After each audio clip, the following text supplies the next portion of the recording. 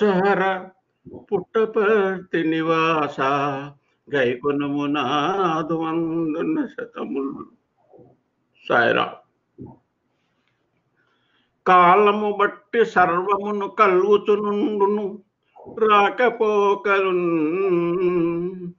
కాలము బట్టి వచ్చు మరి కల్మికి లేమికి రాకపోకలు కాలమే సర్వజీవులకు కారణమన్నిటికంటే చూసిన కాలమే. లొంగదీయనిదో కండును లేదు రాస్థలిన్ కాబట్టి కాలమే భగవత్ స్వరూపం అందుకని భగవంతుని కాలాయనమ కాల కాలాయనమ కాల గమనాయనమ కాలాతీతాయనమ అని కూడా చెప్పటం జరిగింది. కాలచక్ర గమనమునకు కాదు క్షయము అక్షయమే. ఈ కాలచక్రానికి క్షయం లేదు. తిరుగుతూనే ఉంటుంది. అక్షయ రూపుని కనుగొన అనుక్షణమృతమనే అక్షయ రూపుని కనుగొన అనుక్షణం అమృతమయమే ఎందుకంటే ఈ కాలం ఎందుకు వచ్చింది ఈ జీవులకు కాల విశేషమును తెలుసుకుంటే పంచాంగం యొక్క పరమ ప్రయోజనం. మానవుని జీవితం కాలంపై ఆధారపడింది. ఈరోజు ఉగాది శార్వరి నామ సంవత్సరం సాయి స్వరూపులందరికీ ఉగాది శుభాకాంక్షలు. మానవుని జీవితంలో కాలంపై కాలమే కాలం జీవితం అనేది కాలంపై ఆధారపడిందని మనం చెప్పుకున్నాం కదా. ఉగాది అంటే ఊ అంటే సంతోషం అని శివుడు విష్ణువు అని అర్థం కూడా వస్తుంది. గా అంటే గతి అని. ఉగాది అంటే భగవత్ కృప వలన సంతోషాన్ని ఒక ప్రణాళికాబద్ధంగా ధర్మయుక్తంగా పొందటానికి ఆది మొదటి రోజు ఈ రోజు. అందుకనే ఉగాది అన్నారు. యుగాది అని కూడా అంటారు. యుగాది అంటే సృష్టి ఆరంభాన్ని చూ వచ్చింది అది. కల్పం కల్పాంతరం అయిన తర్వాత మళ్ళీ సృష్టి జరిగేటప్పుడు సృష్టి ప్రారంభాన్ని ఉగాది అన్నారు. యుగాది అన్నారు. ఇప్పుడు ఉగాది అంటే సంవత్సర ప్రారంభాన్ని ఉగాది అని అంటారు. పూజే ఈ యొక్క ఉగాది. ఇక్కడ దేవతల పేర్లు లేవు. కాలస్వరూపుడైన సంవత్సరుడు. సంవత్సరాయ నమ అంటే భగవంతుడికి కూడా ఉంది. ఖగోళ భూగోళముల యొక్క సమన్వయమే ఈ పంచాంగం. జీవనయానంలో సుఖదుఖాలు అనేటువంటి ద్వంద్వాలకు మదిలీలకు వాటి వివరాలు తెలుసుకొని ధైర్యంగా సహనంతో మెలగాలని ఇది ఉపయోగపడుతుంది. పంచాంగం అంటే ఐదు అంగములతో కూడినది అని. ఏంటి పంచ అంగములు? పంచాంగము అని అన్నారు పంచ ఏంటి ఆ పంచ అంటే? తిది సంపదను సూచిస్తుంది వారం ఆయుష్ను సూచిస్తుంది నక్షత్రం పాపాన్ని హరిస్తుంది యోగం రోగాన్ని నివారిస్తుంది కరణం కార్యసిద్ధిని కలుగజేస్తుంది. ఇదండి. కాలం అంటే కాంటే శుభము లా అంటే అందించేదండి అంటే కాలం అంటే శుభాన్ని అందించేది అని అర్థం. కాలం చెడ్డదేం లేదండి. కాలం మంచిది. ఎప్పుడు కాలం కూడా కాలం భగవస్వరూపం అది చెడ్డదట్టవుతుంది మన యొక్క మేలు కోసమే అది ఉంది. నక్షత్ర ప్రభావాన్ని బట్టి ఆయా రాసుల్లో సూర్యచంద్ర గతులను బట్టి శుభాశుభ నిర్ణయం చేసేది పంచాంగం. అయితే కాలమానం రకరకాలుగా ఉన్నాయి. బ్రహ్మమానమని ప్రాజాపత్యమానమని దివ్యమానమని పితృమానమని బార్హస్పత్యమానమని సౌరమానమని నక్షత్రమానమని చంద్రమానమని అని ఈ విధమైనటువంటి కాలమానం ఉంది. అంటే ఇక్కడ మనం గమనించాల్సింది అనంతమైనటువంటి కాలాన్ని జీవుల ఉపయోగార్థం లిప్తతో సహా కను రెప్పపాటుతో సహా వర్గీకరించి దాని యొక్క గొప్పతనాన్ని చాటి దాన్ని సద్వినియోగం చేయాలనేటువంటిది ఋషుల యొక్క తపన. అయితే వీటిలో ప్రధానమైనటువంటి సౌరమానం సూర్యుడు ద్వాదశ రాసుల్లో ప్రవేశించడం వల్ల ఏర్పడేటువంటి పన్నెండు నెలలు ఉన్నటువంటి మాసం. ఇది మూడు వందల యాభై ఆరు రోజులు ఉంటుంది. చంద్రమానం చంద్రుని సంచారం వల్ల ఏర్పడేటువంటి పన్నెండు మాసాల మానం ఇందులో అరవై సంవత్సరాలు ఉండి తిరిగి అవే వస్తూ ఉంటాయి. ఈ సంవత్సరాల పేర్లు నారద సంసారం యొక్క పేర్లు. ఈ సంవత్సరానికి మూడు వందల యాభై నాలుగు రోజులు ఉంటాయి. బార్హస్పత్యమానం బృహత్పతి మేషాది పన్నెండు రాసుల్లో సంచరించడం వలన ఏర్పడే పన్నెండు మాసాల యొక్క గణకం. నక్షత్రమానం ఉంది నాలుగోది. అశ్విని నక్షత్రం దగ్గర నుంచి ఇరవై ఏడు నక్షత్రాలు చంద్రుడు సంచారం వల్ల ఏర్పడేటువంటి ఈ మాసాన్ని నక్షత్రమానం అంటారు. ఇందులో మూడు వందల ఇరవై నాలుగు రోజులు ఉంటాయి శ్రావణ మాసంలో శ్రావణ మానం శ్రావణ మానం. ఇందులో ముప్పై రోజులు ఉంటాయి పన్నెండు నెలలు ఉంటాయి అయితే ఈ సంవత్సరంలో మూడు వందల అరవై రోజులు ఉంటాయండి ఇదండి దీంట్లో ఉన్నటువంటి విషయం. ప్రతి కల్పంలో కూడా మొదట వచ్చేటువంటి యుగాదిని యుగాది అని అంటారు అని మనం చెప్పుకున్నాం. మరి మత్స్యావతారం ధరించినటువంటి విష్ణువు సోమకుని సంహరించి వేదాలను బ్రహ్మకు అప్పగించినటువంటి రోజే ఈ ఉగాది. తర్వాత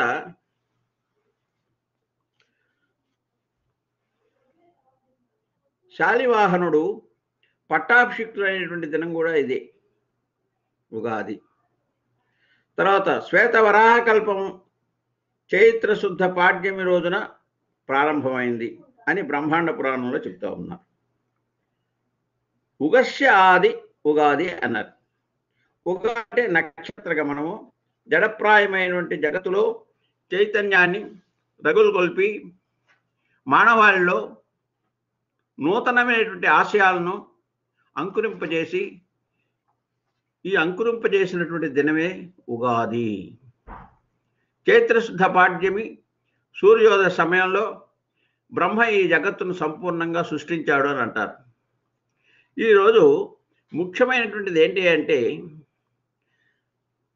కాల పూజ రెండోది పంచాంగ పూజ అన్నారు. కాల కాల గమనాన్ని చెప్పేటువంటి పంచాంగం కాబట్టి ఈ పంచాంగాన్ని పూజ చేయాలి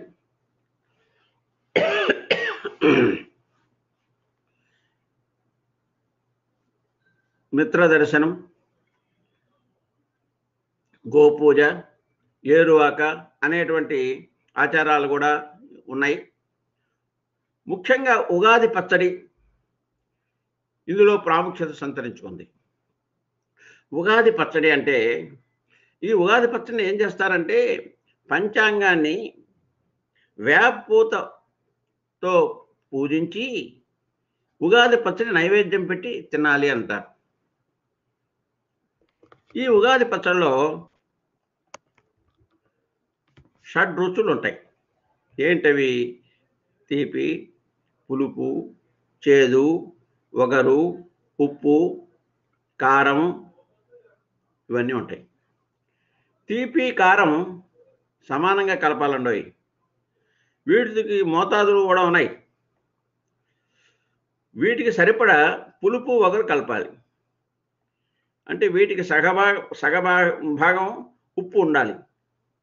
మానవ జీవితంలో అన్ని రుచుల కలయిక అనేదే దీని యొక్క సందేశం.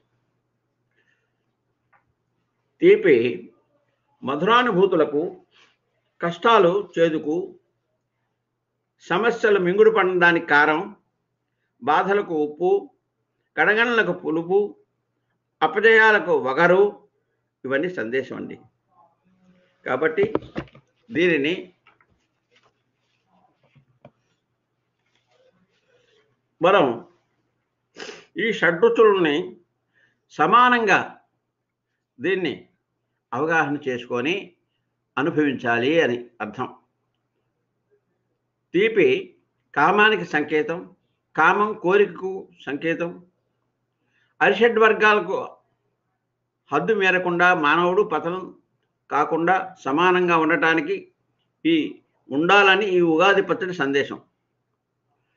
ఎందుకంటే తీపి కామానికి కారం క్రోధానికి ఉప్పు మోహానికి పులుపు లోభానికి చేదు మదానికి వగరు మాత్సర్యానికి.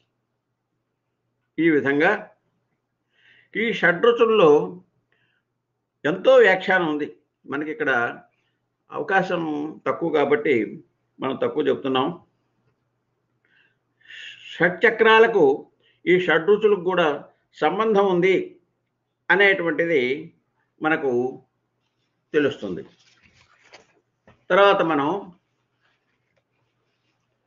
నవనాయకులు గురించినటువంటి సమాచారం తెలుసుకుందాం.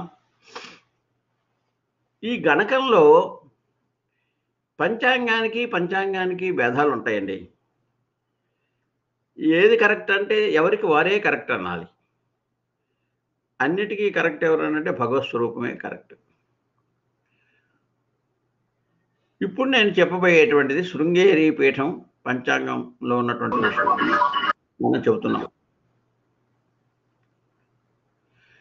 ఈ నమనాయకులు ఏంటయ్యా అంటే సంవత్సర పాలనా విధానాన్ని తెలిపేటువంటి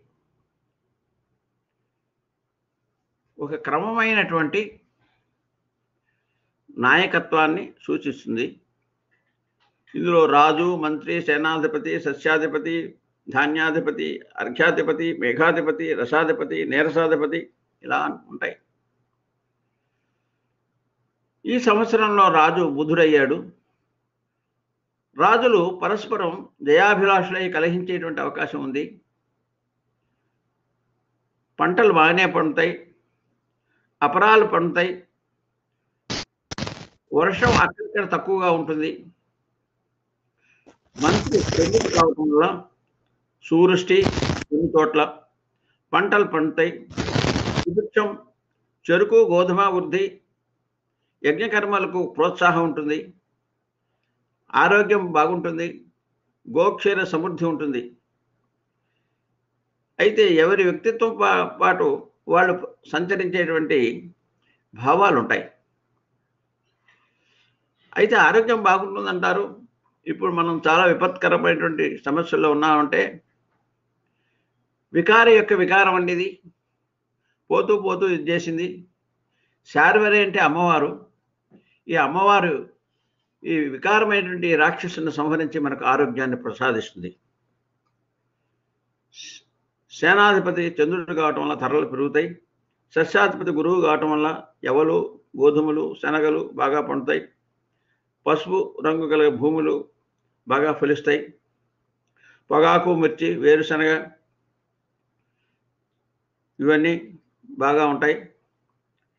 తర్వాత ధాన్యాధిపతి ధనధాన్య కొరత ఉండదు. ఎరుపు రంగు భూములు చక్కగా ఫలిస్తాయి. అధిక ధరలు ఉంటాయి. మరి పంట ఎక్కువ అయితే అధిక ధరలు ఏంటి అంటే మరి గిట్టుబాటు ధరలకు ప్రభుత్వం ఎంకరేజ్ చేయాలి కదా. దానికోసం. అర్ఘ్యాధిపతి చంద్రుడు కావటం వల్ల అంటే కొంతమంది రవి అంటారు కొంతమంది చంద్రుడు అంటారు అదే తేడాలు ఉన్నాయని చెప్పాను కదండి. మంచి వర్షం పంటలు బాగా ఫలిస్తాయి. గోవులు చక్కగా పాలిస్తాయి. తర్వాత ఉపద్రవాలు భూకంపాలు ప్రజల్లో పోరాటాలు అక్కడక్కడ కనిపిస్తూ ఉంటుంది. మేఘాధిపతి చంద్రుడు కావటం వల్ల గాలిలో గాలితో కూడినటువంటి వర్షం సర్వదిక్కుల ఎందు కురుస్తుంది. తూర్పు తీర ప్రాంతములకు తుఫాను సూచన ఉంటుంది. మూడు తోముల వర్షం మూడు తోముల వాయువు ఉంటుంది. మొత్తం మీద సుభిక్షమేనండి. సముద్రంలో పది భాగాలు పర్వతాల్లో పద ఆరు భాగాలు భూమిలో నాలుగు భాగాలు వర్షం కురుస్తాయి. రసాధిపతి శని కావటం వల్ల నెయ్యి నూనె బెల్లం తేనె మొదలగు రసజాతులు ధరలు తగ్గుతాయండి. నువ్వులు మినుములు ఉలవలు నల్ల ధాన్యాలు నల్ల భూములు ఫలిస్తాయి.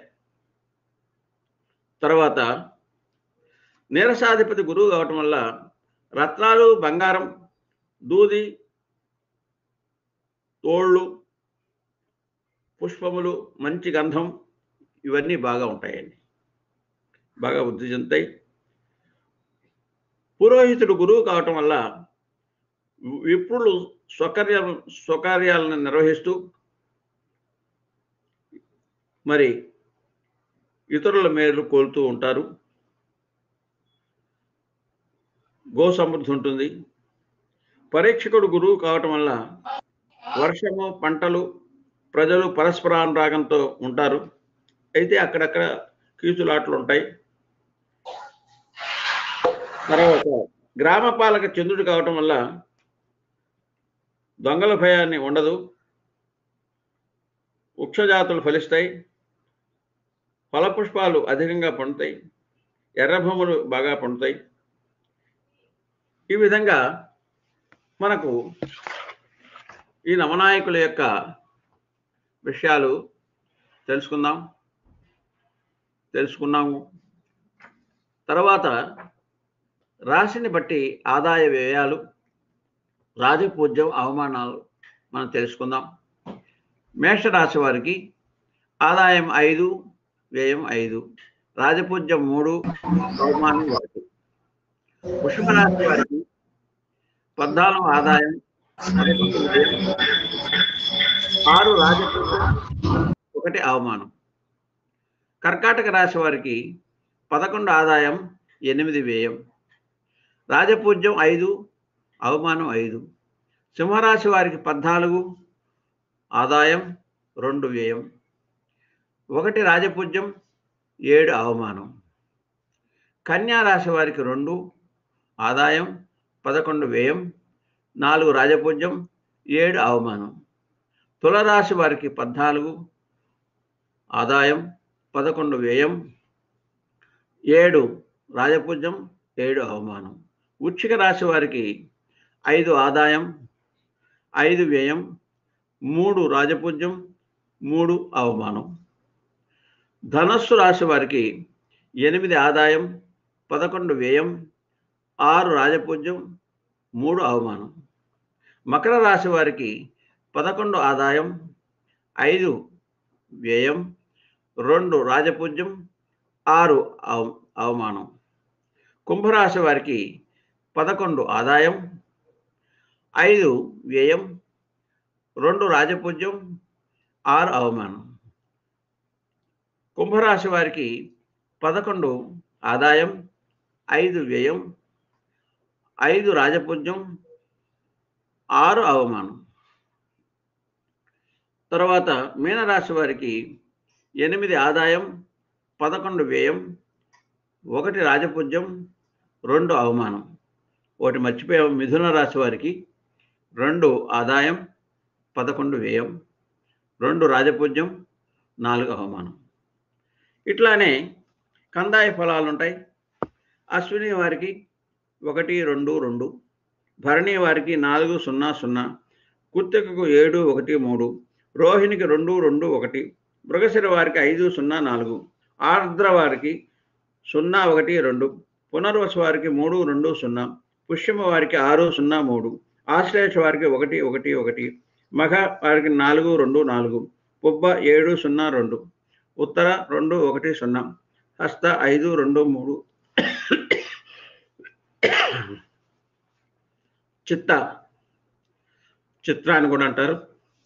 సున్నా సున్నా ఒకటి స్వాతి మూడు ఒకటి నాలుగు విశాఖ ఆరు రెండు మూడు అనురాధ ఒకటి సున్నా సున్నా జ్యేష్ఠ నాలుగు ఒకటి మూడు మూల ఏడు రెండు ఒకటి పూర్వాషాఢ సున్నా నాలుగు ఉత్తరాషాఢ ఐదు ఒకటి రెండు శ్రవణం సున్నా రెండు సున్నా కనిష్ట మూడు సున్నా మూడు శతభిషం ఆరు ఒకటి ఒకటి పూర్వభద్ర ఒకటి రెండు నాలుగు ఉత్తరాభద్ర నాలుగు సున్నా రెండు రేవతి ఏడు ఒకటి సున్నా. ఈ మూ- మూడు విభాలుగా ఎందుకు చెప్పారంటే మొదటి సున్నా తీవ్రమైన అనారోగ్య కారణమని మధ్య సున్నా మిక్కిలి భయానికి చివరి సున్నా అన్ అత్యల్ప ఫలంకు అంటే తక్కువ ఫలం. మూడు సున్నాలుంటే ఫలరాహిత్యం. బేసి సంఖ్య అయితే ధనలాభం సరి సంఖ్య అయితే మధ్యఫలం శూన్య సంఖ్య అయితే నిష్ఫలం. మరి మూడు అంటే సంవత్సరంలో మూడు భాగాలంటే నాలుగు నెలలకు నాలుగు నెలలకు ఉన్నటువంటి ఈ ఫలితాన్ని కందాయ ఫలంలో సూచించడం జరిగింది. అయితే పుష్కర నిర్ణయం. పుష్కరాలు తుంగా నది పుష్కరం వస్తుంది. తుంగ తుంగ భద్ర రెండు కలిసిందే తుంగభద్ర అయింది. పంతొమ్మిది పదకొండు ఇరవై నుంచి ఈ పుష్కరాలు ప్రారంభమవుతాయి. సూర్యగ్రహణం ఇరవై ఒకటి ఆరు ఇరవై అండి స్పర్శకాలం పది పంతొమ్మిది మధ్యకాలం పన్నెండు మోక్షకాలం ఒకటి నలభై ఎనిమిది ఆద్యంత పుణ్యకాలం మూడు ఇరవై ఎనిమిది. మకర సంక్రాంతి వాహనం వ్యాఘ్రం జననాశనానికి ధరల సాధారణ స్థితికి దక్షిణ దిక్కు క్షామానికి ఉంటుంది. తత్మదంతా ఆరోగ్యంగానే ఉంటుంది. సస్యాభివృద్ధి ఉంటుంది. మేష సంక్రమణం తర్వాత మౌఢ్యమి అంటే శక్తిహీనత కలిగి ఉంటాయి ఆ యొక్క గ్రహాలు. శుక్ర మౌఢ్యం అంటే ముప్పై ఐదు ఇరవై నుంచి ఎనిమిది ఆరు ఇరవై వరకు గురు పదిహేను ఒకటి ఇరవై ఒకటి నుంచి పదిహేను రెండు ఇరవై ఒకటి వరకు శుక్రమౌఢ్యమి పదమూడు రెండు ఇరవై ఒకటి నుంచి పద్నాలుగు పద్నాలుగు రెండు వరకు వాస్తు కత్తెర ఉంది. నాలుగు ఐదు ఇరవై నుంచి ఇరవై ఎనిమిది ఐదు ఇరవై వరకు ఈ వాస్తు కత్తెర ఉన్నది. అయితే ఒకటి విషయాన్ని మనం గ్రహించాలి. గ్రహ బలము కన్నా దైవ అనుగ్రహ బలము మిన్న అన్నారు స్వామి. ఒకళ్ళకు ఇది జరుగుతుంది ఒకళ్ళకి అక్ష అది జరుగుతుంది అనేటువంటిది అక్కర్లేదు. గ్రహ బలము కన్నా దైవ అనుగ్రహ బలము మిన్న. కాలాన్ని బట్టి మంచి చెడులు కాదయ్యా. కాలాధీనం కాదు మంచి చెడులు కర్మాధీనం అన్నారు. మనం చేసేటువంటి పనులు బట్టి మనకి మంచి చెడ్లు అనేటువంటిది కలుగుతాయి. పంచ జ్ఞానేంద్రియాలను నిగ్రహంతో సద్వినియోగం చేసుకొని నిజమైనటువంటి సంతోషాన్ని అందుకోవాలి అని స్వామి చెప్పారు.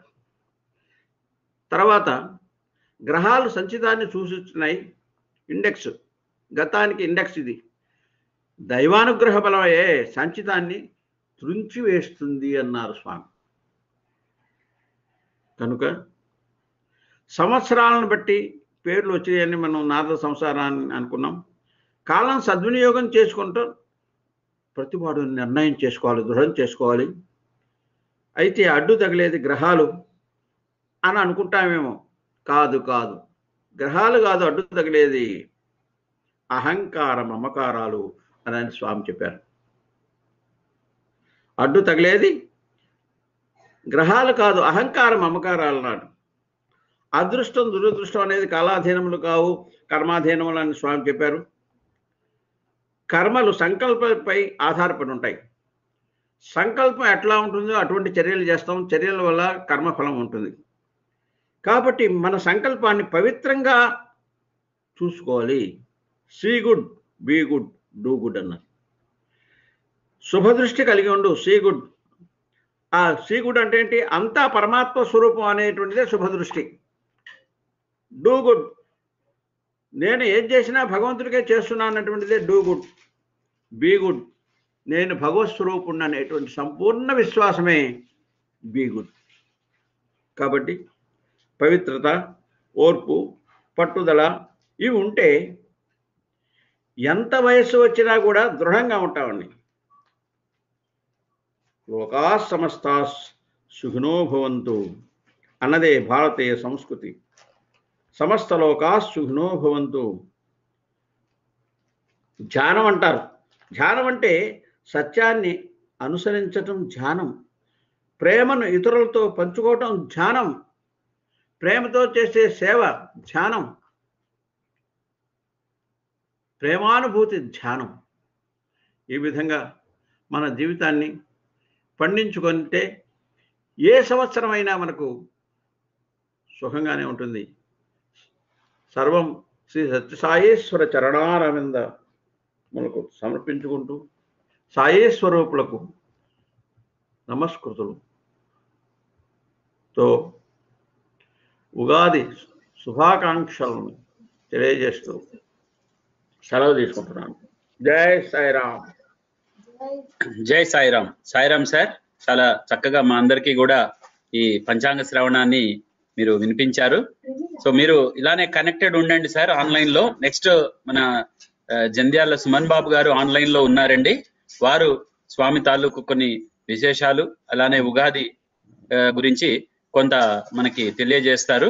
Sir over to you sir Sairam. మీరు మీ కెమెరా కూడా ఆన్ చేయొచ్చు sir.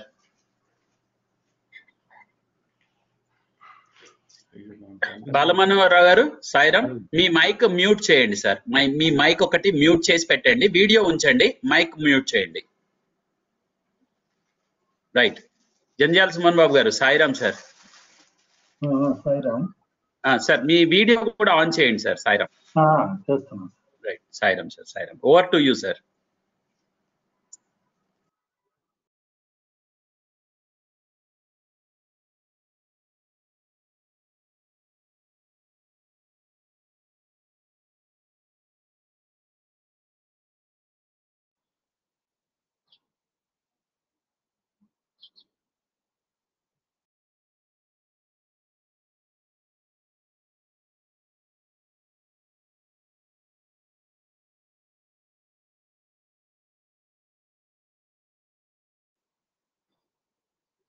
so one minute sir ఒక్కసారి రీకనెక్ట్ అవుతున్నాం ఒక్క వన్ మినిట్.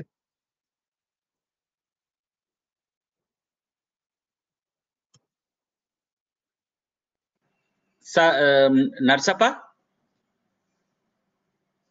సాయిరామ్? చెప్పండి. ఈ లోపు ఒక భజన చెప్పండి నర్సప్ప. భజన? Okay. Right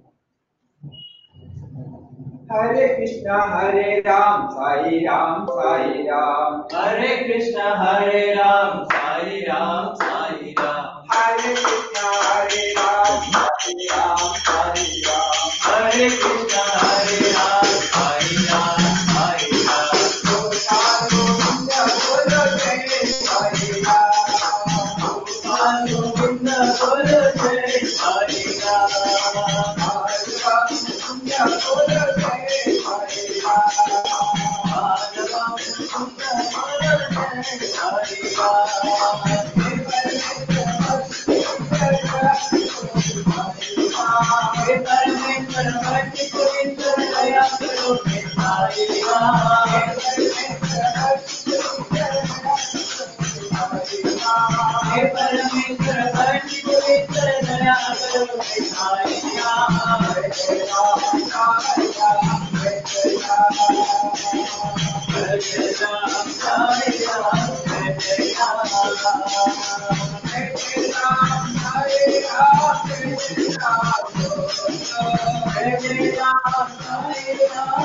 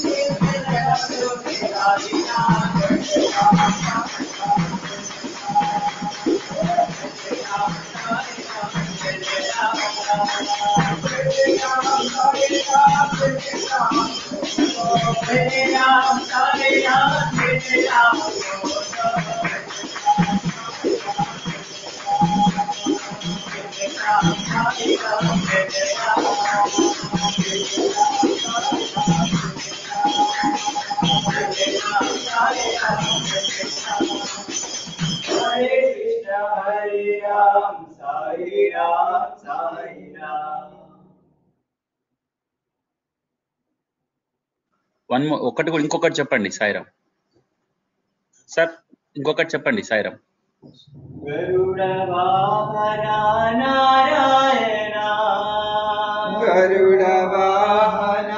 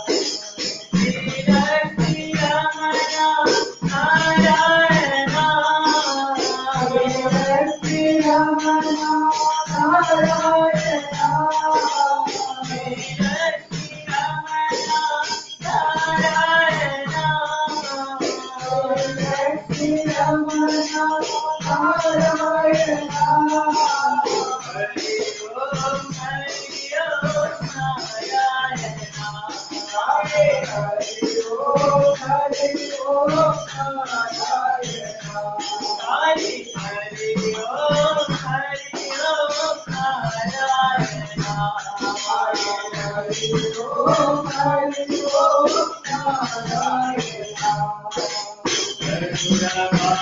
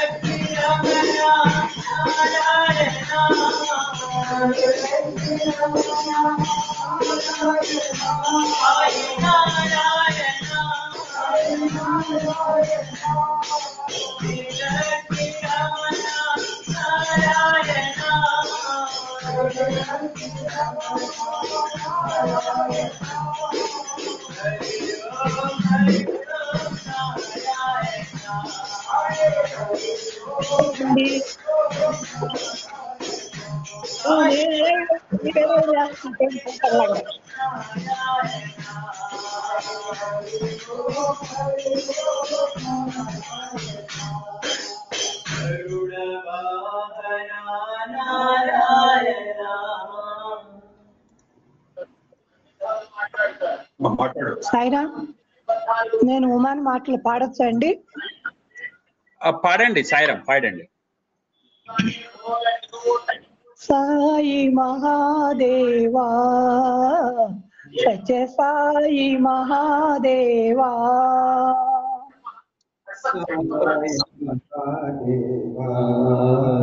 सच साई महादेवा। साई महादेवा सच साई महादेवा। देवा सच साई महादेवा। पातिपुरीश्वर है साई बाबा महेश्वर है पातिपुरीश्वर है साई बाबा महेश्वर है सत्यपुरीश्वर हे साई बाबा महेश्वर हे। हे साई बाबा महेश्वर साई महादेवा सच साई महादेवा। సాయి మహాదేవా సత్య సాయి మహాదేవా నిరుపమ గుణ సదనా సాయి నీరజ దళ నయనా గుణ సదనా Sai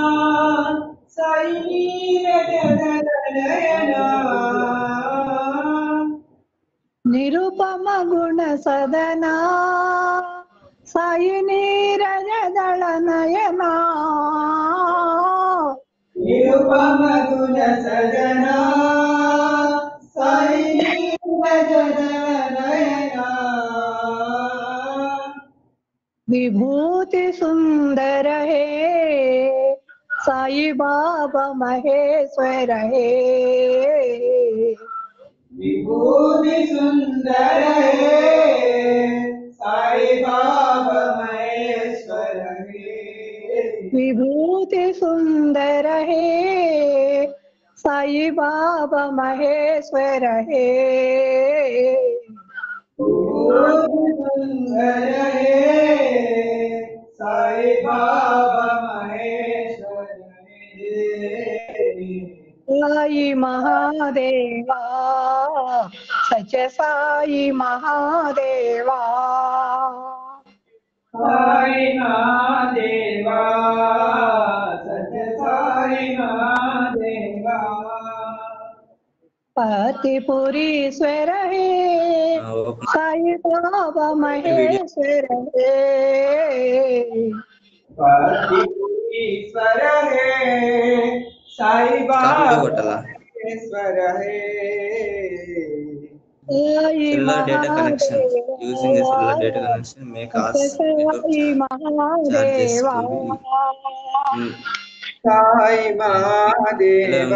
to pictures and record video Nirupama గుణ సదనా సాయి నిరదన నయనా निर्मल गुण सदना साई नयना विभूति सुंदर है साई बाबा महेश्वर है सुंदर है साई बाबा महेश्वर है विभूति सुंदर है साई बाबा महेश्वर है। विभूति सुंदर है। साई बाबा महेश्वर साई महादेवा। सच साई महादेवा साईराम సాయిరామ్ అండి సాయిరామ్ అండి. సార్ జంజాల సుమన్ బాబు గారు ఆన్లైన్లోకి వచ్చారండి రెడీ ఉన్నారు. మహేష్ నీ యొక్క మైక్రోఫోన్ నువ్వు మ్యూట్లో పెట్టుకో. మహేష్ లాట్ ఆఫ్ డిస్టర్బెన్స్ వస్తుంది వెనక నుంచి. మైక్ మ్యూట్లో పెట్టుకోండి. అందరి మైక్స్ సాయిరామ్ సార్ సాయిరామ్. అందరి మైక్స్ ఒకసారి మ్యూట్లో పెట్టుకోండి సార్. అందరి మైక్స్ ఒకసారి మ్యూట్లో పెట్టుకోండి. సార్ ప్రసన్న రామన్ గారు. ఎక్సెప్ట్ ఎక్సెప్ట్ సుమన్ బాబు గారి మైక్ తప్ప మిగతా అన్ని మైక్స్ మ్యూట్లో పెట్టండి సార్. నేను మ్యూట్ చేస్తున్నాను. అందరికి రిక్వెస్ట్ ఏంటంటే దయచేసి మ్యూట్లో పెట్టేసుకోండి. మీ మైక్స్ నేను మ్యూట్ చేస్తున్నాను బట్ కొంతమంది అన్మ్యూట్ చేసేస్తున్నారు.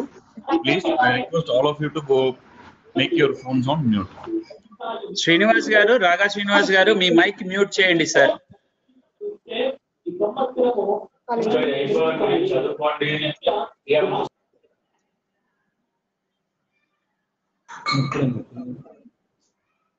Okay sir. Suman Babu గారు సాయిరామ్. సాయిరామ్ సార్. ఓం శ్రీ సాయిరామ్. సాయిరామ్. సాయిరామ్ అఖిలాండ కోటి బ్రహ్మాండ నాయకుడు ఆపద్బాంధవుడు పిలిస్తే పలికే దేవుడు శ్రీ సత్యసాయనాథుడు. భగవాన్ బాబా వారి శ్రీచరణ కమలాలకు హృదయపూర్వకమైన అభివందనాలు చేస్తూ అందరికీ సాయిరాం. ఈ శార్వరి ఉగాది శుభవేళ భగవాన్ బాబా వారి అనుగ్రహాన్ని కోరుతూ బాబావారు చెప్పినటువంటి కొన్ని మంచి మాటలు మనం ఒక్కసారి జ్ఞాపకం చేసుకుందాం. స్వామి అన్నారు మీరు నన్ను ఇలా అడగాలి బంగారు అని ఒక చక్కని పద్యం చెప్పారు.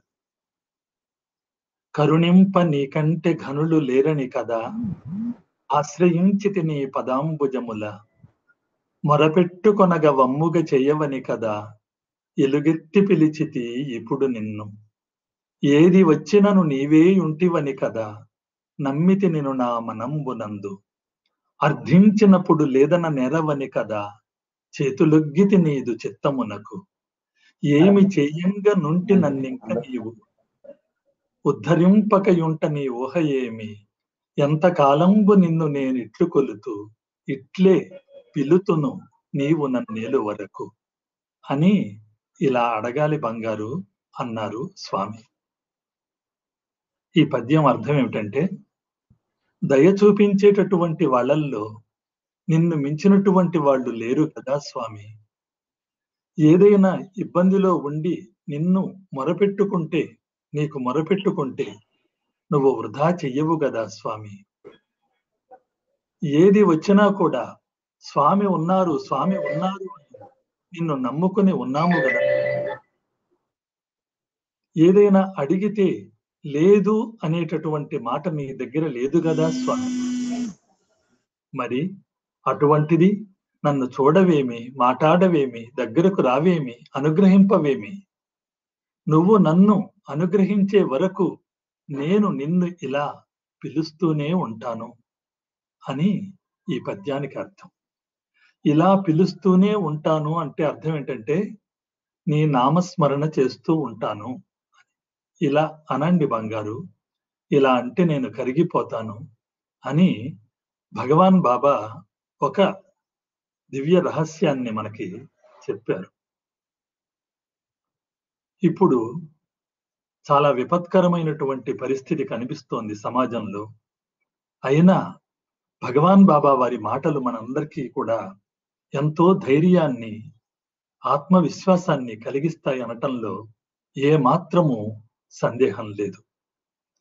ఒకసారి ఇంటర్వ్యూ రూమ్లో కొంతమంది పాశ్చాత్యులు విదేశీయులు కూర్చునున్నారు వాళ్ళందరూ వాళ్ళ వాళ్ళ బాధలు స్వామికి చెప్పారు. అవన్నీ విని దయామయుడైనటువంటి భగవాన్ బాబా అన్నారు కదా don't worry don't worry always think of me I will give you physical health mental health and spiritual health don't worry don't worry always think of me అన్నారు Swami. Always think of me అదొక్కటి మనం గుర్తుపెట్టుకోవాలి. ATM always think of me I will give you physical health mental health and spiritual health don't worry don't worry అని భగవాన్ బాబా ఒక సంజీవని మంత్రం లాంటిది అందరికీ పనికొచ్చేటటువంటిది చెప్పారు. అది ఇప్పుడు మనకి చాలా అవసరం. ఆల్వేస్ థింక్ ఆఫ్ మీ ఇక్కడ రెండు పనులు అన్నమాట ఒకటి నా యొక్క దివ్యమంగళ రూపాన్ని స్మరించుకోండి. ఒకటి నామాన్ని స్మరించండి. రెండు. ఈ రెండు ఇప్పుడు మనం చేయవలసినటువంటి విధులన్నమాట. అర్జునుడు ఆ ఆ కురుక్షేత్ర సంగ్రామంలో ఉన్నప్పుడు అప్పుడు కూడా కృష్ణ పరమాత్ముడు చెప్పాడు తస్మాత్ సర్వేషు కాలేషు మా మనుస్మర యుద్ధ తస్మాత్ సర్వేషు కాలేషు తస్మాత్ అందువల్ల సర్వేషు కాలేషు అన్ని సమయముల ఎందు మాం నన్ను అనుస్మర. అనుస్మర అంటే స్మరిస్తూ కాదు విరామము లేకుండగా స్మరిస్తూ యుద్ధము చెయ్యి. అందువల్ల సర్వకాల సర్వావస్థల యందు ఎటువంటి విరామము లేకుండగా నన్ను స్మరిస్తూ యుద్ధము చెయ్యి అన్నారు కృష్ణ పరమాత్ముడు. సరిగ్గా స్వామి అట్లాగే అన్నారు ఆల్వేస్ థింక్ ఆఫ్ మీ అని చెప్పి. రెండు ఒకటే. అందువల్ల ఆ భగవంతుని యొక్క దివ్య మంగళ రూపాన్ని స్మరించుకుంటూ మనం భగవంతుని యొక్క స్వామి యొక్క దివ్య నామాన్ని స్మరించుకుంటూ అవలీలగా ఈ కష్టాన్ని మనం దాటవచ్చు అని చెప్పి స్వామి మాటల్లో మనకు తెలుస్తుంది. అలాగే ఒకసారి ఇంగ్లాండ్ నుంచి ఒక కుటుంబం వచ్చారు భగవాన్ బాబా వారి దగ్గరికి. ఆ బృందంలో డాక్టర్ గాడియా కూడా ఉన్నారు. ఆ, స్వామి అన్నారు ఒక ఆవిడ్ని చూసి నీ పేరేమిటి? అన్నారు. ఆవిడన్నది స్వామి మాలతి నా పేరు అన్నది. అప్పుడు వెంటనే డాక్టర్ గాడియా గారు అన్నారు స్వామి ఈవిడ లక్షార్చన చేస్తుంది హోమాలు చేస్తుంది పూజలు పునస్కారాలు బాగా చేస్తుంది అని అన్నారు. అప్పుడు భగవాన్ బాబా అన్నారు నన్ను హృదయంలో పెట్టుకోండి నామస్మరణ చేయండి. ఎంత సింపుల్గా చెప్పారు చూడండి. అంటే ఏంటి? లక్షార్చన హోమాలు అవి కాదు. అవి చేస్తే చేయవచ్చు తప్పు లేదు. కానీ వాటికంటే కూడా ముందు ఏంటంటే నన్ను హృదయంలో పెట్టుకోండి నామస్మరణ చెయ్యండి ఈ రెండు చాలా అవసరము అని భగవాన్ బాబా ఆ ఇంగ్లాండ్ నుంచి వచ్చినటువంటి ఆ బృందంతో చెప్పారు. ఇవన్నీ మనకి చాలా ఉపకరించేటటువంటి మాటలు అన్నమాట ఒక ఆయన అడిగాడు స్వామిని స్వామి మేము మిమ్మల్ని ప్రేమిస్తున్నాము కదా. మేము మిమ్మల్ని ప్రేమిస్తున్నాము అనేటటువంటి విషయం మీకు తెలుసు అనే విషయం మాకెలా తెలుస్తుంది స్వామి? అని అడిగాడు. ఎంత జాగ్రత్తగా అడిగాడు చూడండి. మేం మిమ్మల్ని ప్రేమిస్తున్న విషయం మీకు తెలుసు అనే విషయం మాకెలా తెలుస్తుంది? స్వామి అన్నారు అప్పుడు భగవాన్ బాబా అన్నారు బంగారు నేను మిమ్మల్ని ప్రేమించకపోతే మీరు నన్ను ప్రేమించటం అనేటటువంటిది జరిగే పని కాదు బంగారు అన్నారు. అంటే స్వామి ప్రేమిస్తున్నారు కాబట్టే మనం స్వామిని ప్రేమించగలుగుతున్నాము అన్నమాట. అంటే మనం ఆ భగవాన్ బాబా వారి దయ వల్ల ఆయన దివ్యమైనటువంటి పరిధిలో ఉన్నాము. ఎటువంటి సందేహము లేదు. మరొక ఆయన అడిగాడు అంటే ఈ మాటలు మనకి ఇప్పుడు చాలా ఊరట కలిగిస్తాయి అందుకని చెప్తున్నాను. మరొక ఆయన అడిగాడు స్వామి మరి మీ నామము సంజీవని వంటిది సాయ నామము సంజీవని వంటిది అని మీరు అన్నారు కదా? మరి అలాంటప్పుడు కూడా మరి కొంతమంది మీ నామాన్ని స్మరించడానికి ముందుకు రావటం లేదు ఎందుకని స్వామి? అని అని అడిగాడు. అప్పుడు భగవాన్ బాబా అన్నారు నా నామము స్మరించటానికి కూడా నా అనుగ్రహం ఉండాలి బంగారు అన్నారు భగవాన్ బాబా. నా నామము స్మరించటానికి కూడా నా అనుగ్రహం ఉండాలి బంగారు అన్నారు స్వామి. అందువల్ల ఇవన్నీ కూడా చాలా అద్భుతమైనటువంటి విషయాలన్నమాట. స్వామి మనకు అందించినటువంటి ఒక దివ్య సూత్రాలన్నమాట. అందువల్ల మనము స్వామి దివ్య పరిధిలో ఉన్నాము. అందువల్ల ఎటువంటి ఆందోళన పడకుండగా స్వామిని హాయిగా స్మరించుకోవటం. అసలు ఒక విధంగా చెప్పాలంటే స్వామికి చింత మనకు కాదు. ఎందుకంటే మనం స్వామి స్వామి అని చెప్పి అంటున్నాము. మనని రక్షించటం అనేటటువంటిది స్వామి అన్నమాట. పాపం ఆయన చూసుకోవాలి. మనం ఆందోళన పడుతున్నాము. ఏం చేస్తాం మనం? ఆందోళన పడి ఏమీ లేదు మనం చేయగలిగింది. అందువల్ల స్వామి ఎంత సింపుల్గా చెప్పారో చూడండి. నన్ను స్మరించండి నా నామము స్మరించండి అని చెప్పి అన్నారు ఇక మనని తరింపజేయటము మనని ఉద్ధరించటము మన మీద అనుగ్రహము చూపటము అవన్నీ కూడా స్వామి చేయాల్సినటువంటి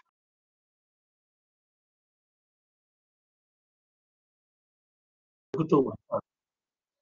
ఏకాంతంగా ఉన్నప్పుడు ఒక్క నామము తీసుకోండి బంగారు. ఆ నామము మిమ్మల్ని తరింపజేస్తుంది అన్నారు స్వామి. అప్పుడు ఒక ఆవిడ అడిగింది స్వామి ఏ నామము తీసుకోము స్వామి? ఒక్క నామము తీసుకోండి అన్నారు కదా. ఏ నామము తీసుకోము స్వామి? అని అడిగింది. అప్పుడు భగవాన్ బాబా అన్నారు రామ కృష్ణ శివ శక్తి ఏ నామమైనా తీసుకో బంగారు. తీసుకున్న నామాన్ని వదిలిపెట్టవద్దు బంగారు అన్నారు. అప్పుడు ఆవిడ అడిగింది ఆవిడ స్వామిని వదిలిపెట్టలే. ఆవిడ అడిగింది అలా కాదు స్వామి ఆ నామాలు కాదు స్వామి. మీ దివ్య నామము తీసుకుంటాము స్వామి అని అడిగి అంది.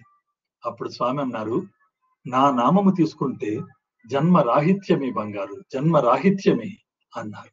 అంటే ఇంకా జన్మ అనేటటువంటిది లేదు లేదు లేదు అట్లాంటిది సాయి నామం అంటే అని భగవాన్ బాబా చెప్పారు.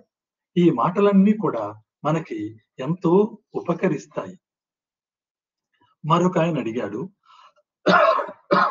స్వామి మేము రోజు పూజలు చేస్తున్నాము ఆ మరి ఆ దేవుడు అంటే మీరే మా గురించి పట్టించుకుంటున్నారా లేదా అనేటటువంటి విషయం మాకు ఏమి తెలియటలేదు స్వామి. స్వామి వింటలేదేమో స్వామి మమ్మల్ని చూడటలేదేమో అని అనిపిస్తూ ఉంటుంది. ఒక్కొక్కసారి ఆ ఆవేదనలో మీ రూపాన్ని కూడా మేము ఆ మనస్సులో నిలవటలేదు స్వామి. మీ రూపం కూడా మా మనస్సులో నిలవటల్లా అని అన్నాడు. భగవాన్ బాబా వారిని అడిగారు అట్లా అప్పుడు స్వామి అన్నారు రూపం కోసం కష్టపడాల్సిన అవసరం లేదు బంగారు. నామం పట్టుకో. నామం పట్టుకుంటే రూపం అదంతటదే నీ మనస్సులో నిలుస్తుంది. ఇప్పుడు ఇక్కడ ఇంతమంది కూర్చున్నారు. నేను సోమయ్య అని చెప్పి అంటాను. ఎవరు లేచి నిలబడతారు? ఒక్క సోమయ్యే నిలబడతాడు. ఆ చిన్న మాట ఇంత మందిలో అతన్ని ఎలా నిలబెడుతోందో చూసారా అలాగే రామయ్య అని పిలుస్తాను. ఎవరు పలుకుతారు? రామయ్యే పలుకుతాడు. అట్లా మానవులే పిలిస్తే పలుకుతున్నప్పుడు కరుణాంతరంగుడైనటువంటి కరుణామయుడైనటువంటి సర్వవ్యాపకుడైనటువంటి భగవంతుడు పలకడా బంగారు అని భగవాన్ బాబా అన్నారు. అందువల్ల ఈ మాటలు ఎట్లా ఉన్నాయో చూసారా మనందరికీ ఈ సమయంలో కావలసినటువంటి దివ్య ఔషధాలు అన్నమాట. మరొక ఆయన అడిగాడు స్వామి మీరు పదహారు కళలతో ఉన్నటువంటి పూర్ణావతారము అని విన్నాను స్వామి. అంటే ఏమిటి స్వామి? పదహారు కళలతో ఉన్నటువంటి పూర్ణావతారము అంటే ఏమిటి స్వామి అని అడిగాడు. అప్పుడు భగవాన్ బాబా అన్నారు స్వామి అన్నారు బంగారు నువ్వు స్వామి అనుగ్రహం కనుక సంపాదించినట్లయితే నీ లక్షలాది జన్మల ప్రారబ్ధ కర్మని పటాపంచలు చేయగలడు స్వామి. చాలా నీకు అన్నారు. భగవాన్ బాబా నీ లక్షలాది జన్మల ప్రారబ్ధ కర్మను పటాపంచలు చేయగలడు స్వామి. అదే పరిపూర్ణ అవతారము అంటే అని భగవాన్ బాబా చెప్పారు. ఈ విధంగా ఒక్కొక్క సన్నివేశంలో ఒక్కొక్క సందర్భంలో తన యొక్క ఆ దివ్యమైనటువంటి శక్తిని ఆ దివ్యమైనటువంటి అవతార వైభవాన్ని మనకు చాలా సరళంగా అందించారు స్వామి. అలాగే ఒకసారి ఆ సింగపూర్ నుంచి ఒక భక్తుడు వచ్చాడు. ఏదో అనారోగ్యంతో బాధపడుతూ ఉన్నాడు. వస్తూ వస్తూ పక్కన ఒక సీసా కూడా పెట్టుకున్నాడు. ఆ సీసా ఏమిటంటే ఆ స్వామి అడిగారు ఏమిటి ఆ సీసా ఏంటి ఆ ఇంటర్వ్యూ రూమ్లో కూడా పట్టుకొచ్చారు.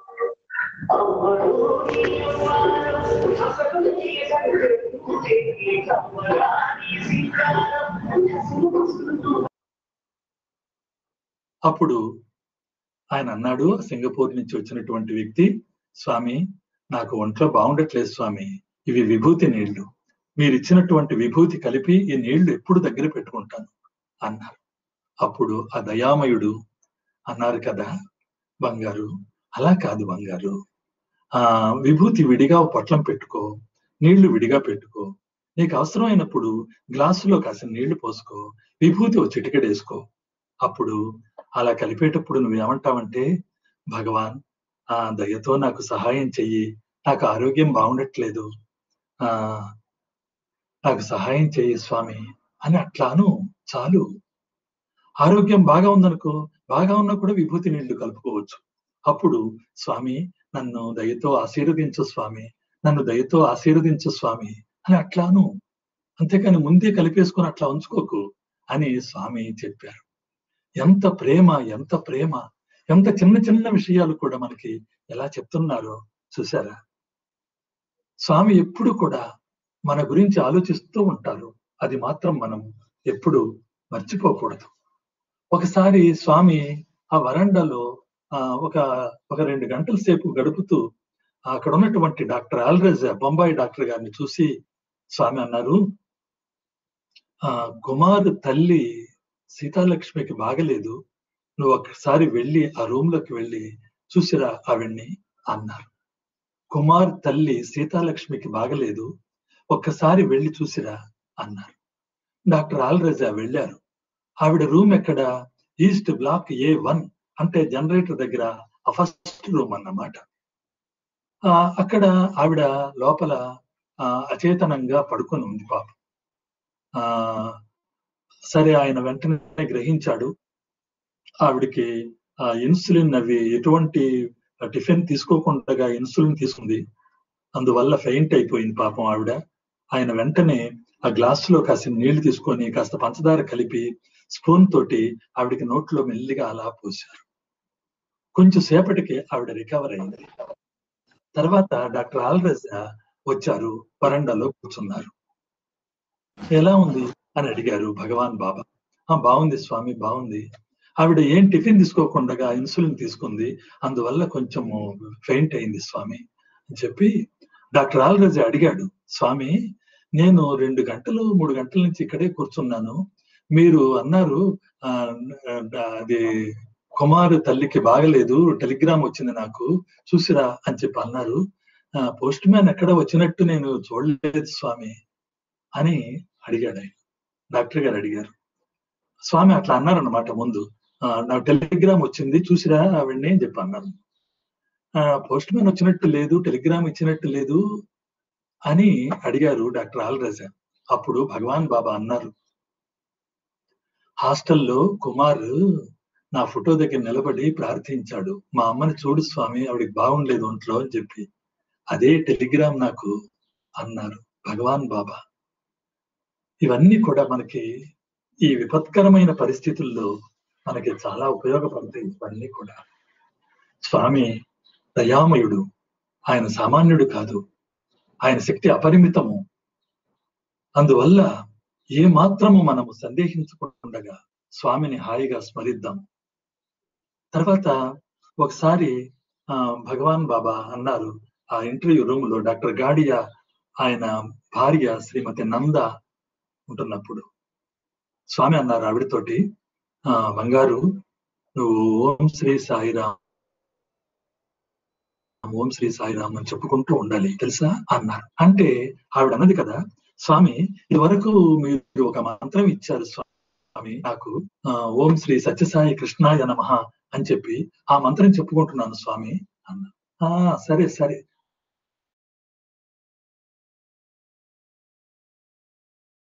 సరిగ్గా స్వామి నామమే అనాలి.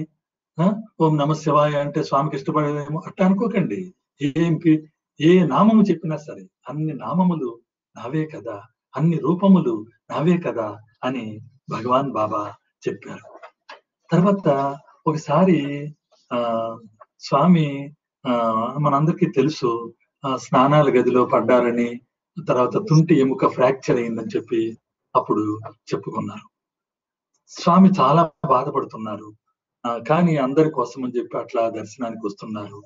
డాక్టర్లు అన్నారు స్వామి మీరు దయతోటి అంగీకరించండి స్వామి. ఒక్కసారి ఎక్స్రే తీస్తాం స్వామి ఎక్స్రే తీస్తాము. దయతోటి మీరు అంగీకరించండి అని స్వామిని ప్రార్థించారు. స్వామి సరే చివరికి సరే అన్నారు. సరే ఒక ఎక్స్రే యూనిట్ చిన్నది తీసుకొచ్చేసి పోర్టబుల్ది తీశారు. ఆ ఎముక ఫ్రాక్చర్ అయి ఉన్నది. స్వామికి చెప్పారు స్వామి ఇట్లా ఫ్రాక్చర్ అయింది స్వామి. ఓ ఫ్రాక్చరా సరేలే పర్వాలేదులే అన్నారు. అట్లా కాదు స్వామి అట్లా కాదు. మీరు ఒక్కసారి హాస్పిటల్కి రండి స్వామి. ఆ కొంచెం చిన్న ట్రీట్మెంట్ చేస్తాం స్వామి రండి స్వామి అని బతిమలాడారు.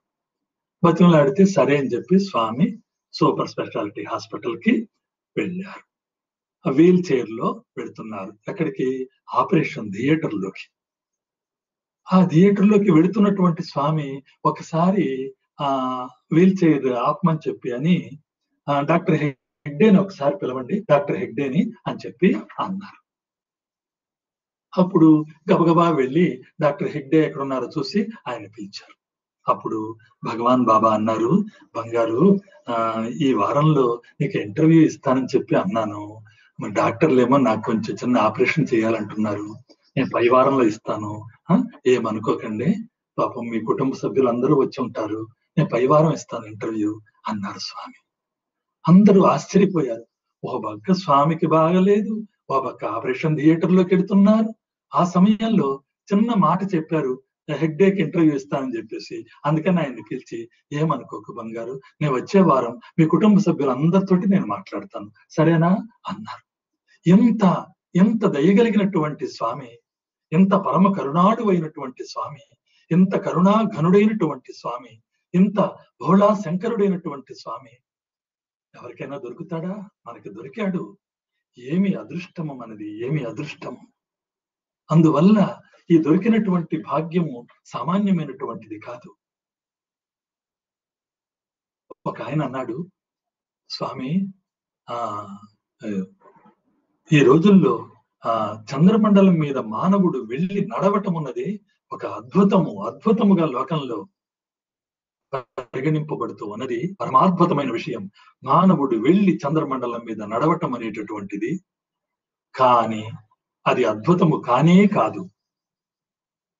మానవుడు వెళ్ళి ఇప్పుడు చంద్రమండలం మీద అర్జెంటుగా నడవకపోతే ఏమీ పర్వాలేదు.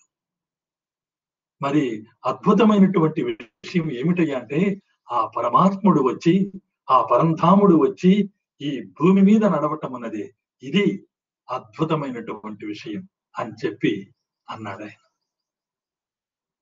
మరొక మహానుభావుడు అన్నాడు భగవంతుడు వచ్చి ఈ నేల మీద నడవటం అద్భుతమైన విషయము కానే కాదు. ఆయన ఎప్పుడు కావాలనుకుంటే అప్పుడు ఎక్కడ కావాలనుకుంటే అక్కడ తనని తాను సృష్టించుకోగలడు. ఆయన స్వయం భువు అది అద్భుతము కాదు.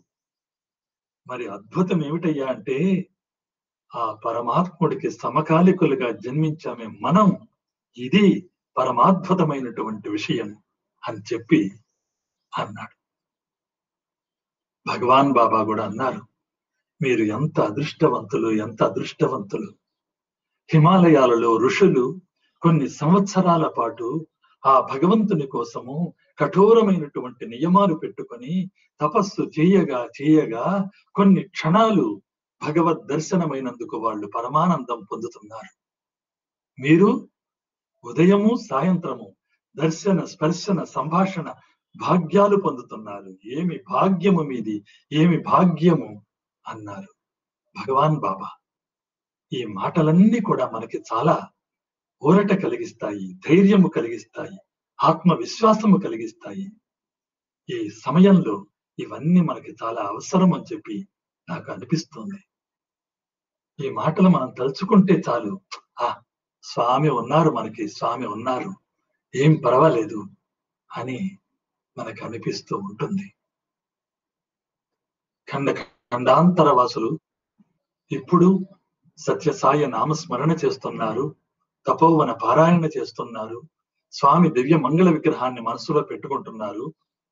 స్వామి స్వామి స్వామి స్వామి అని చెప్పి స్వామిని అట్లా కరిగించేస్తున్నారు. స్వామి హృదయం కరిగించేస్తున్నారు. ఒక విధంగా ఇది గ్లోబల్గా ఒక తపస్సు జరుగుతోందన్నమాట. అందువల్ల ఈ విషయాలు మనకి చాలా అవసరమని అనిపిస్తోంది. భగవాన్ బాబా చెప్పారు కేరళలో బిల్వమంగళుడు అని చెప్పి ఒక భక్తుడు ఉన్నాడు. అతడు ఎంత భక్తుడంటే ప్రతిరోజు సాయంత్రం కృష్ణుడు వచ్చి కాసేపు కూర్చొని మాట్లాడి వెళుతూ ఉండేవాడు. ఎవరితో?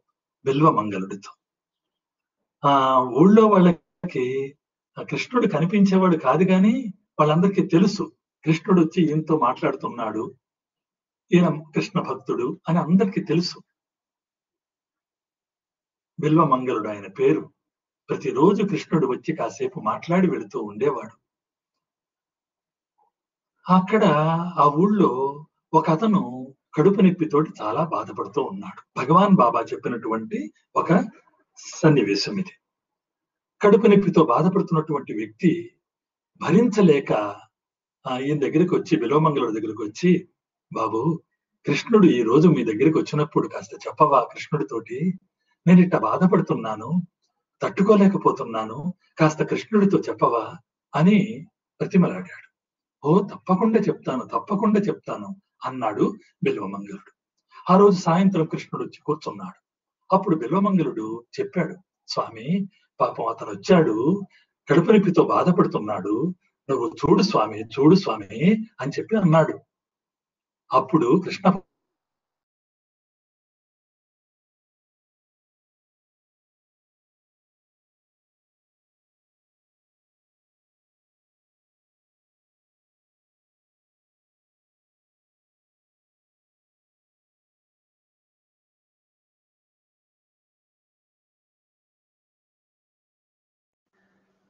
అట్లా ఆమెకు స్వామి పాపం అతను చాలా విలవిల్లాడుతున్నాడు స్వామి అని బ్రతిమలాడినాడు ఆ బ్రతిమలాడినప్పుడు కృష్ణుడు అన్నాడు సరే పోని నువ్వు ఇంతగా అడుగుతున్నావు కాబట్టి నేను ఒక మాట చెప్తున్నాను అన్నాడు. చెప్పు స్వామి చెప్పు ఏం చెప్పమంటావు?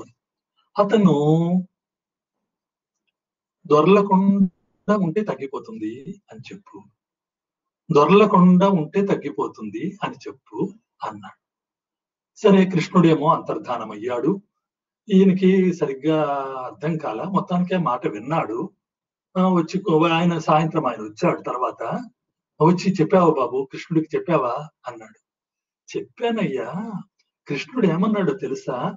నా వల్ల కాదు అన్నాడు. అలా అనకు స్వామి. పాపం అతను చాలా బాధపడుతున్నాడు. అట్లా అంటావేంటి స్వామి? నీకు అసాధ్యమే ఉంది స్వామి. అని నేను బతిమలాడాను. అప్పుడు ఆయన ఏమన్నాడంటే ఆ దొరలకుండా ఉంటే తగ్గిపోతుంది అన్నాడయ్యా. ఏంటది? అంటే నువ్వు ఆ కడుపునికి వచ్చినప్పుడు బాగా దొర్లుతూ ఉంటావా? అన్నాడు. మామూలుగా దొరలటం ఏంటయ్యా బాబు? ఇల్లంతా దొర్లుతూ ఉంటాను నేను కడుపు నొప్పి భరించలేక. ఆ మరి అట్లా అన్నాడు. సరే పని చెయ్యి కృష్ణుడు చెప్పాడు కదా నువ్వు దొరలబాకు అన్నాడు. నేనేంటి సరదాగా దొర్లుతానా? కడుపు నొప్పి భరించలేకనే కదా దొర్లుతోంది. కడుపు నొప్పి లేకపోతే నేను దొరలను కదా. దొరలకుండా ఉంటే తగ్గుతుంది అంటాడేంటి ఆయన? అని చెప్పి. ఏంటనయ్యా అట్ట అన్నాడు. దొరలకుండా ఉంటే తగ్గిపోతున్నాను. భలే చెప్పాడులే బాగా చెప్పాడు. కడుపు నొప్పి లేకపోతే నేను ఎందుకు దొరుకుతాను దొరలకుండా ఉంటే తగ్గుతుంది ఏంటి? అని చెప్పి ఆయన అన్నాడు. అని కొంచెం ఎవరన్నా పెద్దవాళ్ళని అడుగు నాకు కూడా సరిగ్గా అర్థం కావట్లేదు. అంటే ఆయన ఊళ్ళోకి వెళ్ళి చదువుకున్న పండితుడిని అడిగాడు. ఇట్లా అన్నాడండి కృష్ణుడు తనకి అర్థం ఏంటి అని. అంటే ఆయన అన్నాడు కొంచెం జాగ్రత్త ఇంకా ఎక్కువ ఆలోచించి నువ్వు వేరే జన్మకి దొరలకుండా ఉంటే తగ్గుతుంది. నువ్వు మీరు చెప్పేది మరీ బాగుందండి. నాకు ఇదే అర్థం కాలేదంటే మీరు చెప్పేది ఇంకా అర్థం కావట్లేదు. వేరే జన్మకి దొరలటం దొరలకపోవటం నా చేతిలో ఉందా? మీరు భలేవారే అని చెప్పి అన్నాడు అతను. సిద్ధ అయిపోయింది. కొన్నాళ్ళైన తర్వాత అతను కాశీకి ప్రయాణం పెట్టుకున్నాడు. కాశీ ప్రయాణం పెట్టుకొని వెళుతున్నాడు.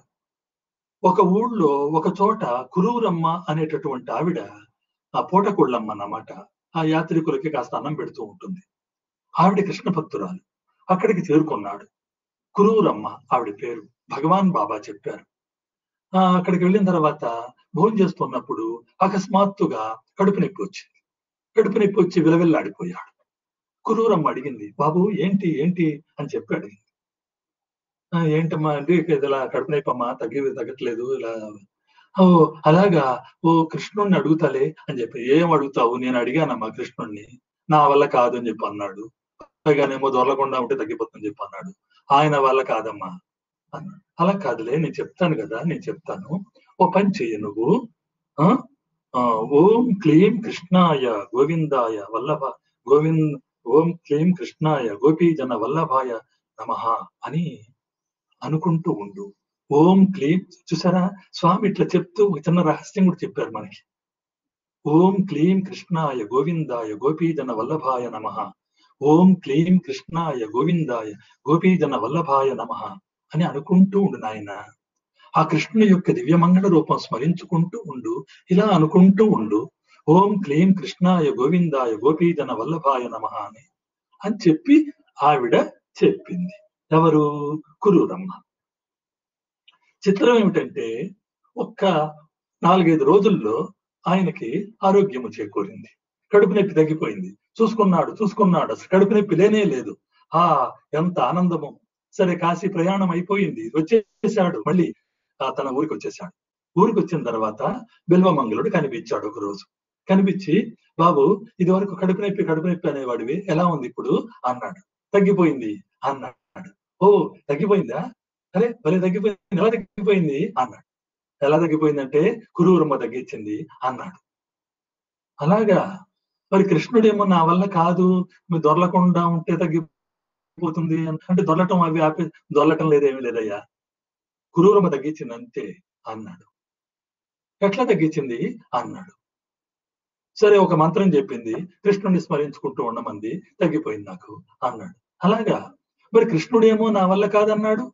కృష్ణుడే నా వల్ల కాదన్నాడు? కురూరమ్మ తగ్గించిందా? నేను అడుగుతా ఉండు కృష్ణుడిని అన్నాడు. ఆ రోజు సాయంత్రం కృష్ణుడు వచ్చాడు. ఆయన అడిగాడు విలోమంగలుడు స్వామి నువ్వేమో అట్లా అన్నావు స్వామి కురూరమ్మ తగ్గించింది కడుపు నొప్పి అన్నాడు. అప్పుడు కృష్ణుడు అన్నాడు కురూరమ్మ చెప్పింది నేను చెప్పింది ఒకటే కదా అన్నాడు ఆయన. కురూరమ్మ చెప్పింది నేను చెప్పింది ఒకటే కదా అన్నాడు. అదేంటి స్వామి నువ్వేమో దొరలకుండా ఉంటే తగ్గిపోతుంది అని అన్నావు. ఆవిడేమో ఓం క్లీం కృష్ణాయ గోవిందాయ గోపీజన వల్లభాయ నమ అని చెప్పింది. నేను చెప్పింది అదే దొరలకుండా ఉంటే తగ్గిపోతుంది అంటే అర్థం ఏంటంటే పనికిరాని విషయాల్లో మనస్సు దొరలకుండా ఉంటే తగ్గిపోతుంది అని నేను చెప్పాను. పనికిరాని విషయాల్లో మనస్సుని కొనియకండి అని చెప్పాను.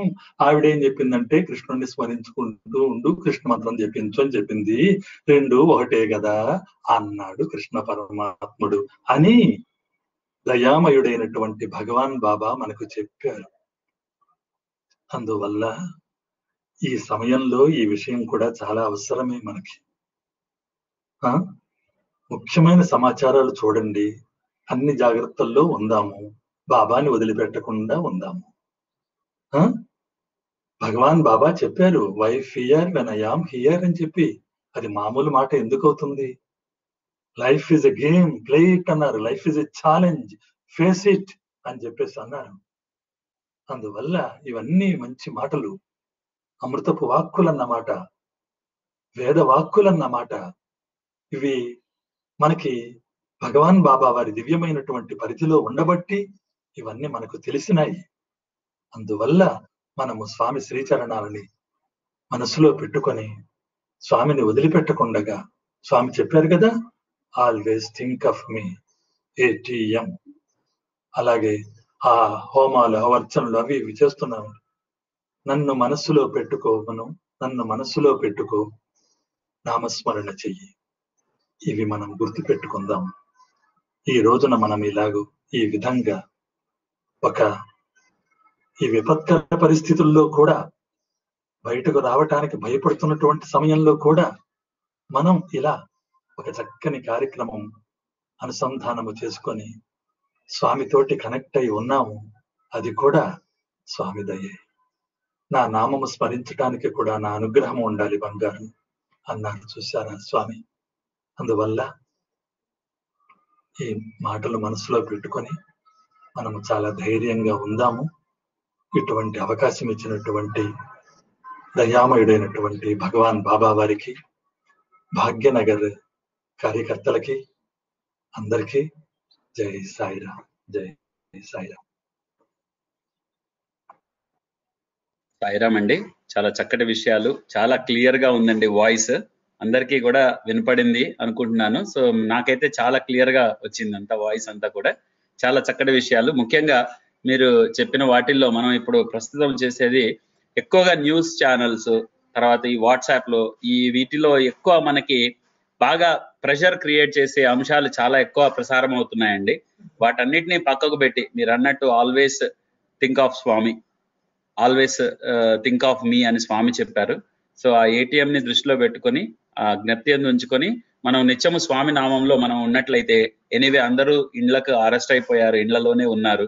కాబట్టి ఉన్న ఆఫీస్ వర్క్ ఇంట్లో హోమ్ వర్క్ ఫ్రమ్ హోమ్ వాళ్ళు వర్క్ ఫ్రమ్ హోమ్ చేసుకుంటూ మిగిలిన సమయాన్ని అంతా కూడా స్వామి నామానికి మనం కేటాయించుకునేటట్టయితే చాలా ఎక్సలెంట్గా ఉంటుంది. ఒక రకంగా ఇది స్వామి మనకి ఇండైరెక్ట్గా మనకి ఒక ట్రైనింగ్ లాంటిది అని మనం మీరు చెప్పడం జరిగింది. చాలా సంతోషం అండి. ఇప్పుడు చాలా మీ సమయం మాకు ఇంత సమయాన్ని మీకు మనకు వెచ్చించినందుకు చాలా సంతోషం సార్. సాయిరాం సాయిరాం. నెక్స్ట్ మనం స్వామివారి ఉపన్యాసము ఉగాది సంభాషణం విందామండి. ఉగాది భాషణం స్వామివారు చెప్పింది. దాని తర్వాత హనుమాన్ భజన్ నెక్స్ట్ సుబ్రహ్మణ్యం భజన్ మంగళహారతితో ఈ కార్యక్రమాన్ని మనం ముగించుకుందాము. ఒక్కసారి స్వామివారి స్పీచ్ పెడుతున్నాను. అందరూ కూడా మ్యూట్ పెట్టేసుకోండి మీ మీవి. మ్యూట్ పెట్టుకుంటే డిస్టర్బెన్స్ ఏమీ ఉండదు. స్వామివారు చెప్పింది క్లియర్గా ఉంటుంది. సాయిరాం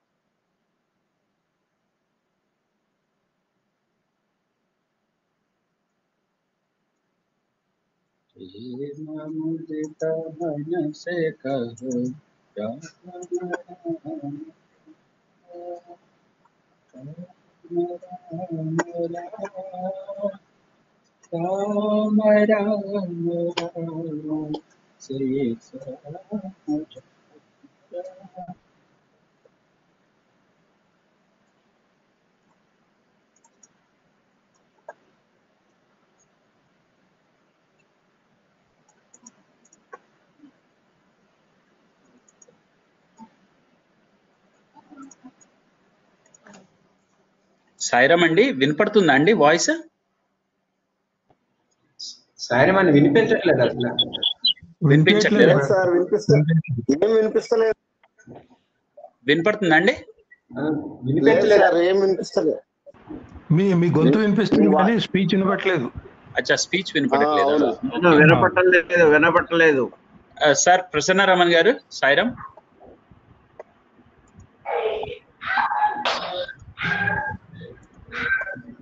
సార్ గారు ఇప్పుడు ఇప్పుడు ఈ- వస్తున్నట్టుంది సార్. ఈ స్పీచ్ ఒకసారి పెట్టండి సార్ స్వామిది. మీరు షేర్ చేయండి సార్ నేను ఎగ్జిట్ అవుతాను. ఇప్పుడు వస్తున్నట్టుంది సార్ ఇప్పుడు వస్తున్నట్టుంది. లేదు ఇప్పుడు క్లోజ్ చేశాను.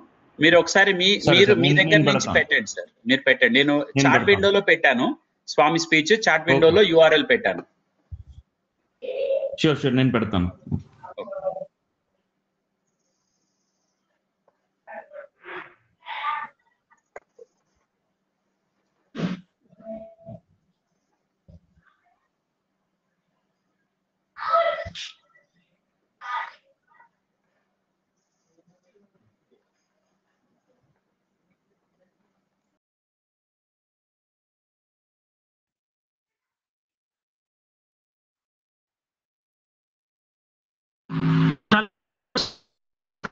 Whomsoever you sell your I to It is the name and the goal. ఆ వ్యక్తి కాల్పోయేది దైవానికి పోయి చేరుతుంది. If you respect anybody in all humility it reaches God సర్వజీవ తిరస్కారం కేశవం ప్రతిగచ్చతే. ఎవరిని మనం దూషించినప్పటికీ అది భగవంతుడికి పోయి చేరుతుండాలి. If you deny anybody it amounts to total denial of the divinity ఇది నేను ఆయన్ని దూషిస్తున్నాను ఈమెను దూషిస్తున్నాను ఇతన్ని దూషిస్తున్నాను నేను భ్రమిస్తున్నాం కానీ ఇతరులు కాదు. నేను నీవే దూషించుకోవటం. You are under the misconception నేను దూషించుకోవటం. You are under the misconception that you are hating someone else no you are hating your truly speaking. ప్రేమ స్వరూపులారా Embodiments of love. Eenadu Ugadi Today is Ugadi. యుగమునకు ప్రతిదినమైనది కాబట్టి యుగ ఆది అన్నారు As is the beginning of the time, it's called Ugadi. కనుక ఈ ఉగాది అనేటువంటిది ఏ- జరుగుతూ వస్తుంటున్నది This has been the celebration since ancient times. కానీ ఎన్ని యుగాదులు జరిగినప్పటికీ Ages have passed by. మన హృదయంలో ఉన్నటువంటి దుర్భావం ఏమాత్రము అదిపోవటం లేదు The ill feelings ఏనాడు మానవుని హృదయము అవి పరిశుద్ధం గావించుకొని హార్ట్ పవిత్రమైన భావములను పెంచుకొని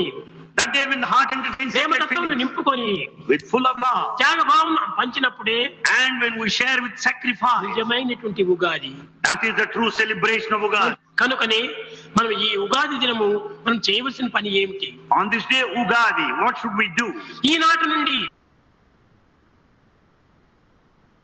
మన హృదయాన్ని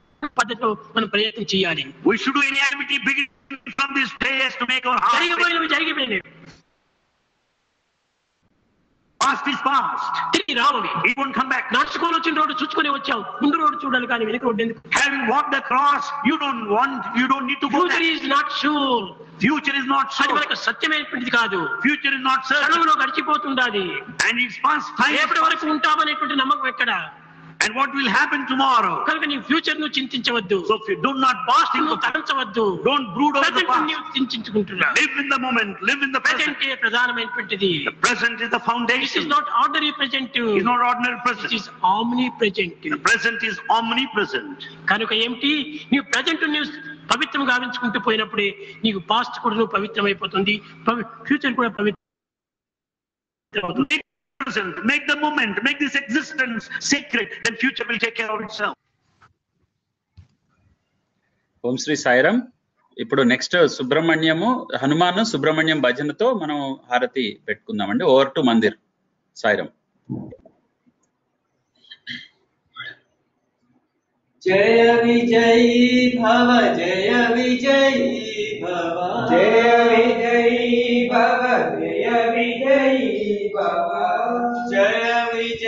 Shiva Jaya Jaya Jaya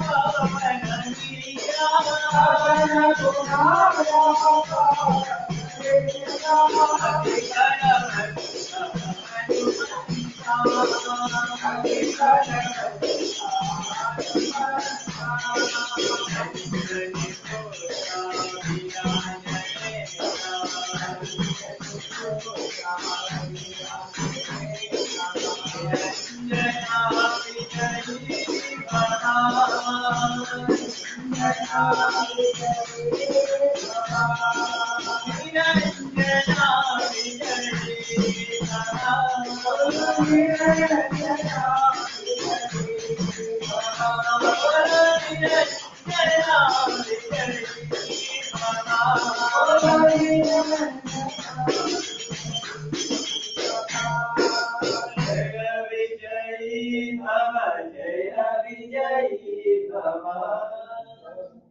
Subrahmanyam Shanmukhanatha Subrahmanyam Subrahmanyam Subrahmanyam Shanmukhanatha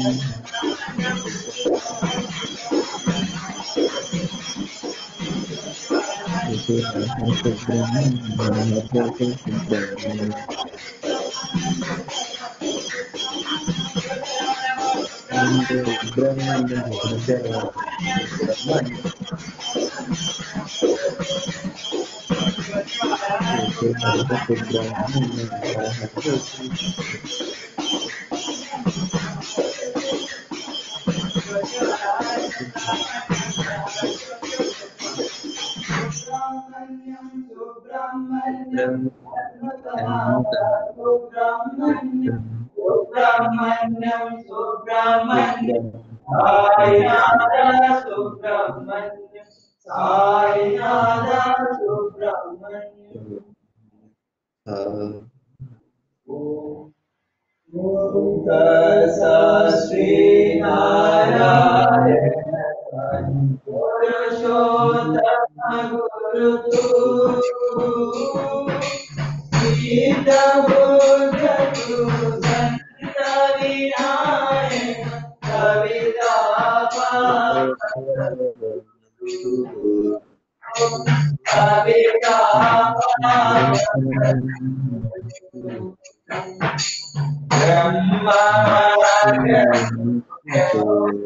Krishna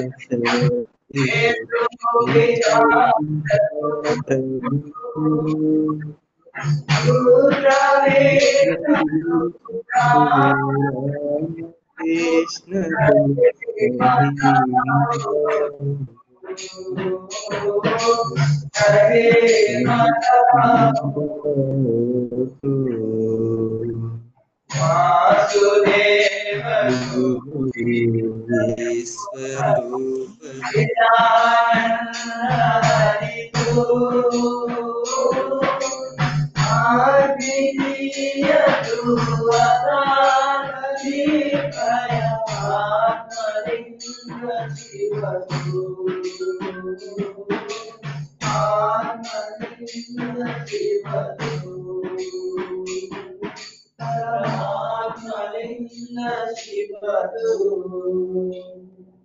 Oh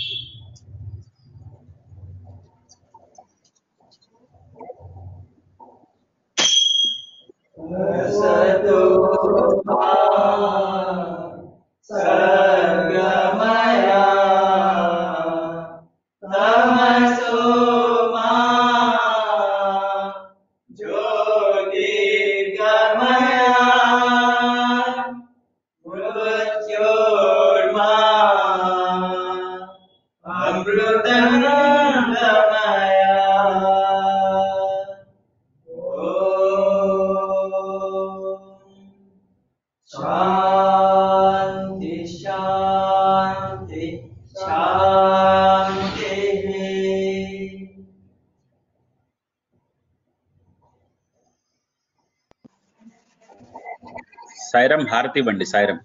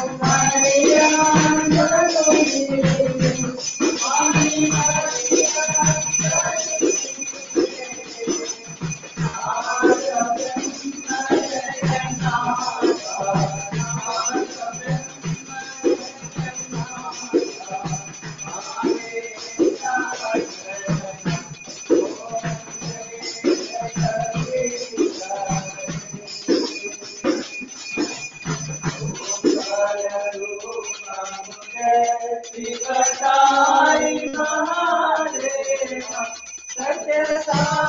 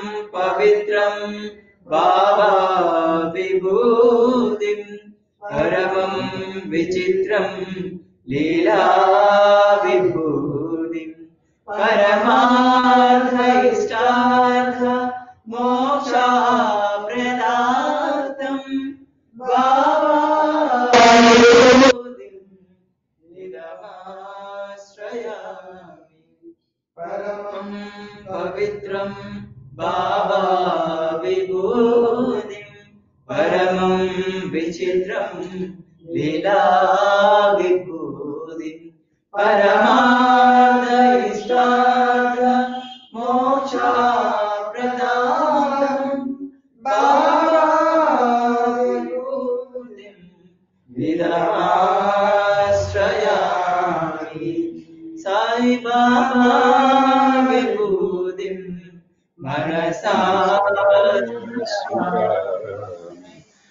ఓం శ్రీ సాయిరామ్.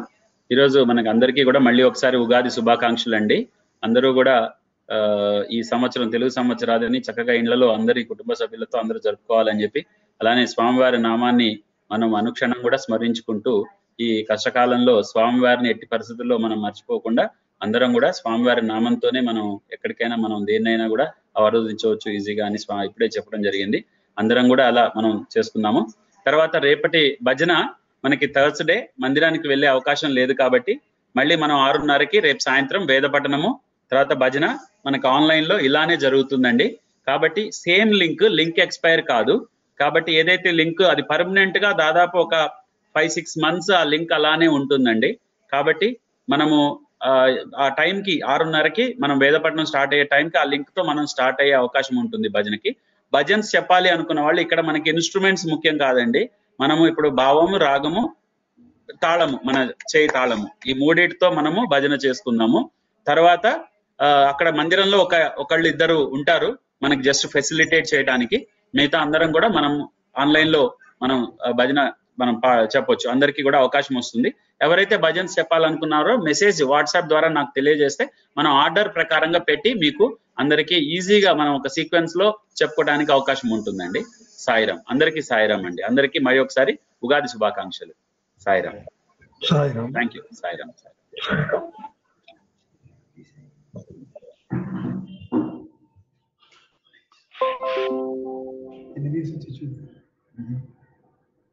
తీసుకొచ్చి లేవనే